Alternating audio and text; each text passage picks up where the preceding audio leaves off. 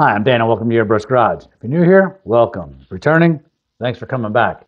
Today I'm going to be going over the Cricut design space. I've gotten a lot of questions on the design space since I put out the video on how to cut your own stencils or templates with a Cricut. So in a little while I'm going to be putting a link up above to that particular video and that will actually take you through the cutting process. But today we're going to be concentrating on the Cricut design space, what it does, and all of the tools that can get you through your project for what you're going to need to create your own stencils.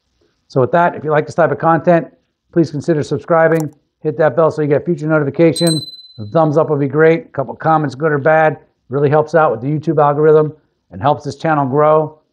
Don't forget to check out all my Amazon affiliate links down below for the products I use in this video and all my other videos. And with that, let's get started. All right, let's roll up our sleeves and get right into it. So upon entering the design space, you'll see a few things. Home gives you your welcome because I'm already logged in.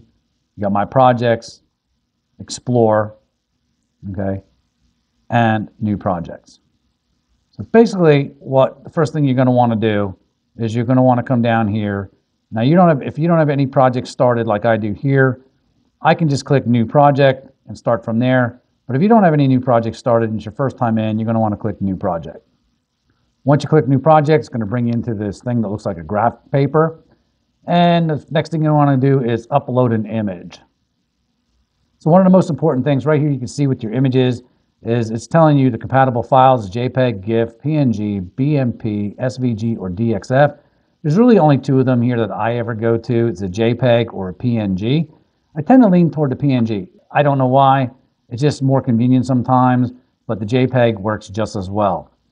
So I already have some, all of my artwork down here. You can see ones that are already loaded. But if I wanted to upload an image, I would just go here. Now you can browse or you could just drop the file here. So if I was to browse,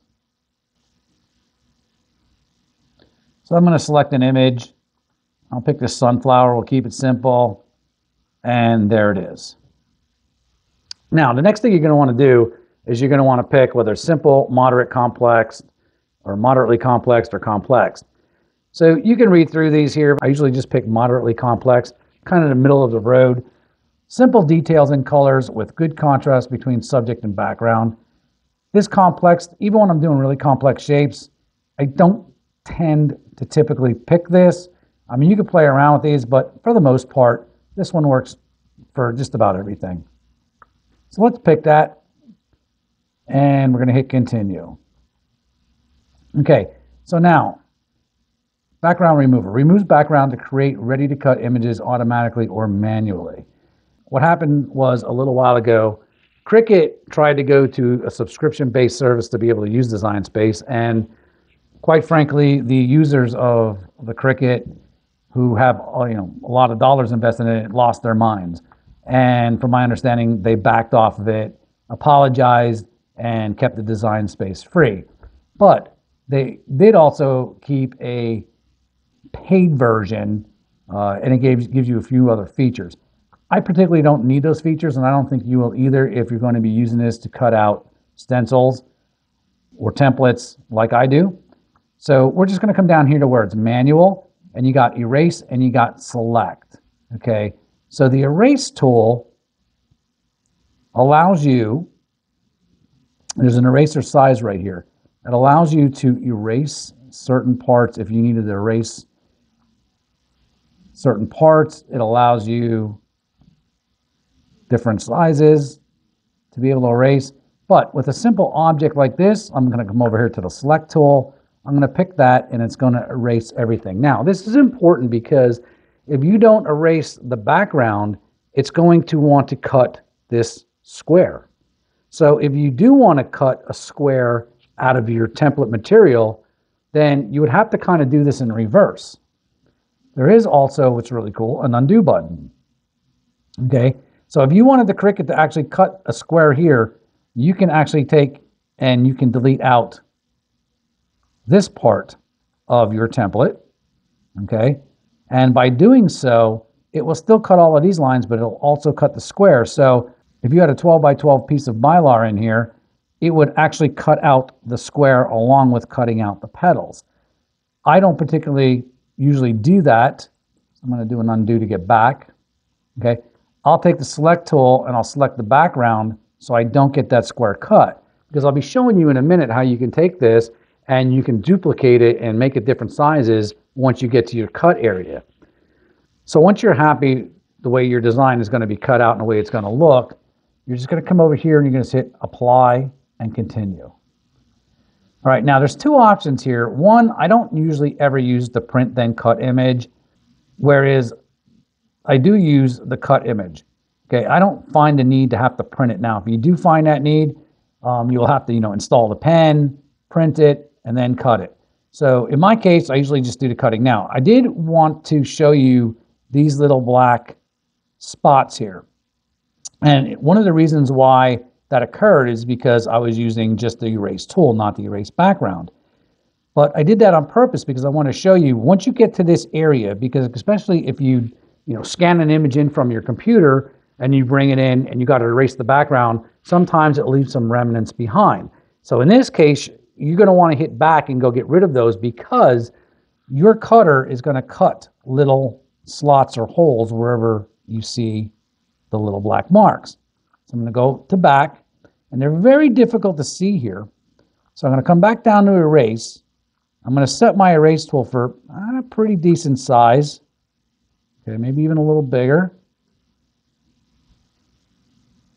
And I'm going to try to see where those black marks were and get them out of there.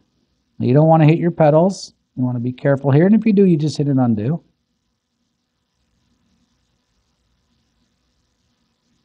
They are difficult to see. They're very light brown. But you could always go check your work by hitting the apply and continue. And I have one here and one here yet. Go back to my erase tool.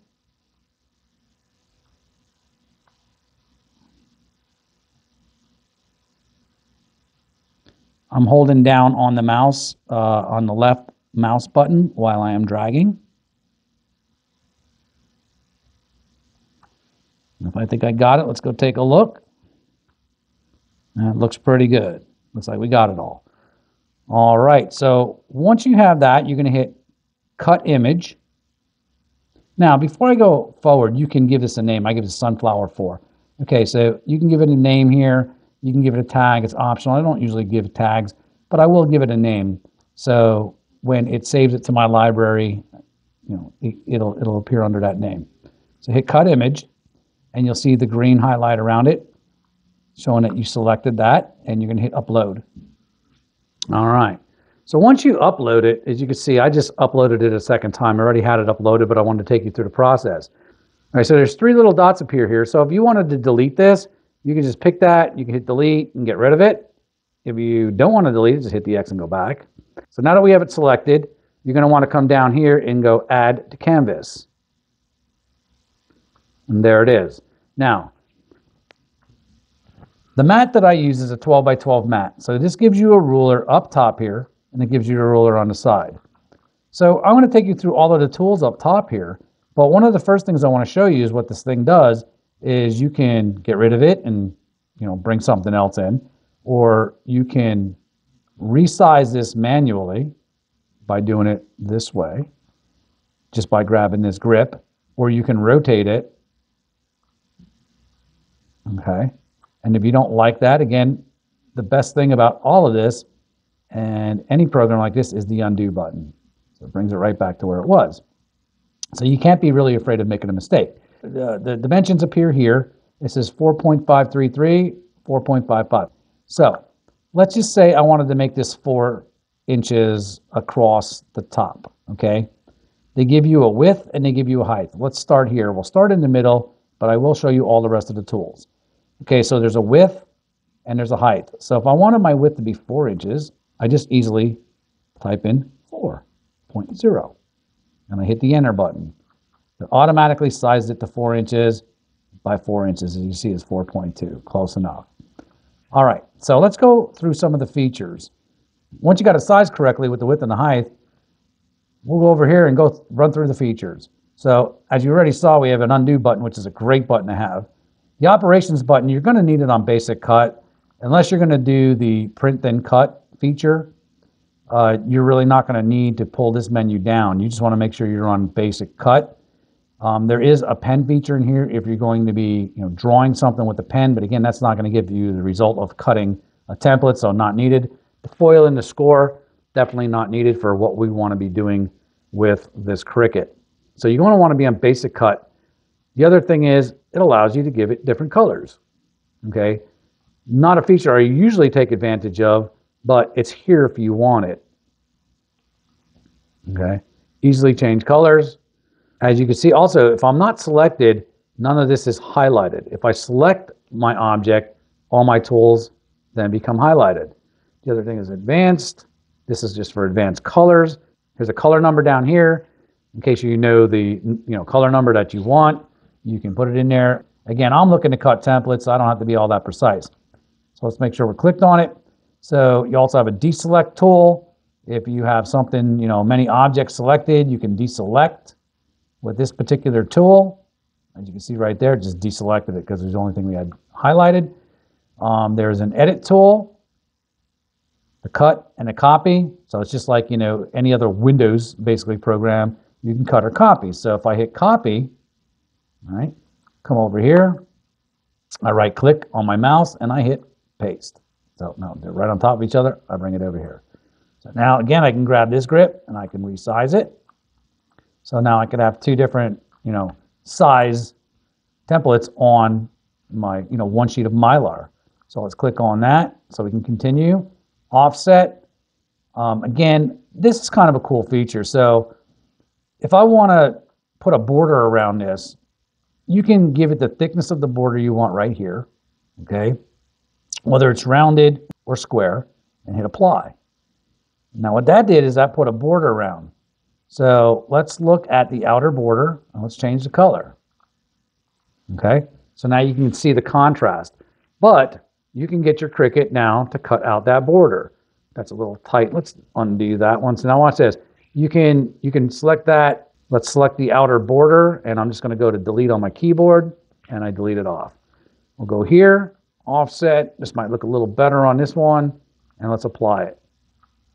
Again, let's click the outer. See that now that picked the inner border, and you can see the outer border is a little bigger.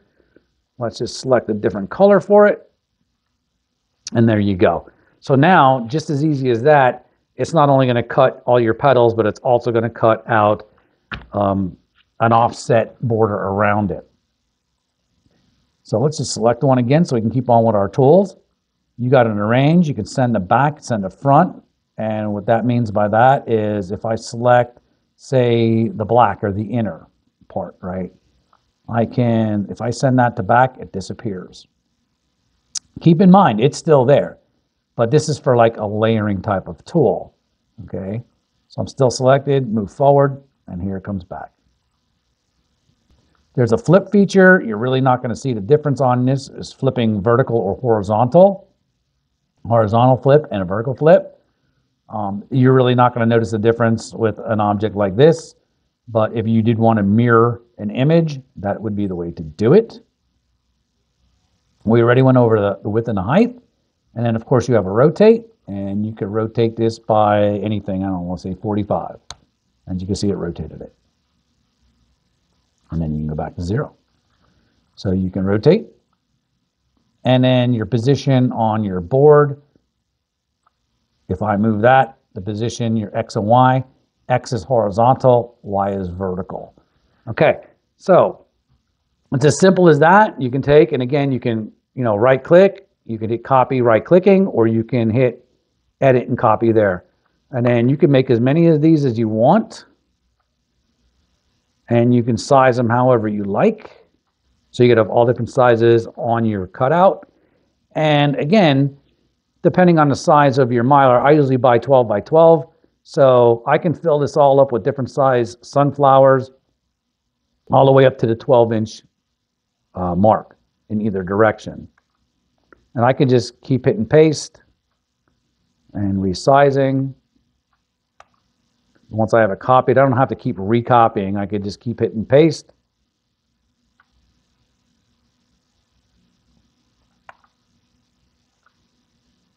and fill my page.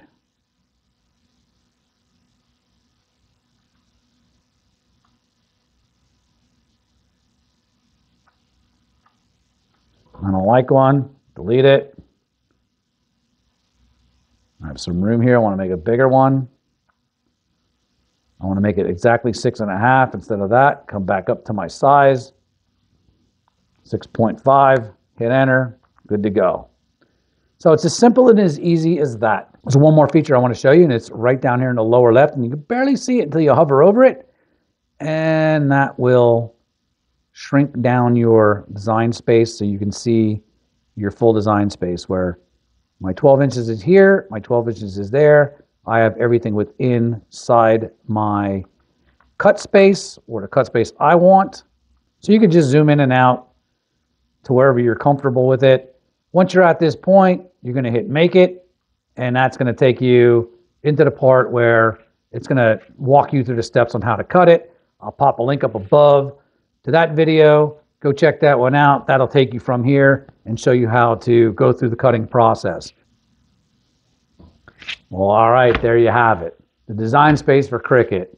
It's really not that complicated. But the really cool part about the design space, is it allows you to upload an image and size it to whatever size that fits your project. It's a really cool tool to have in your shop, you know, when you're airbrushing. So with that, I hope you learned something from this video. If you did, please consider subscribing. You know the drill, the thumbs up, the comments, the questions, the links down below. It all really helps. We're growing. I really appreciate it. Thank you guys so much. With that, we'll see you in the next video.